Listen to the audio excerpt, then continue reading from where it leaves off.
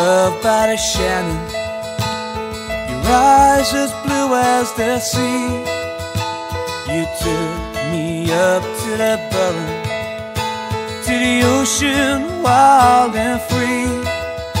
I was blown away, truly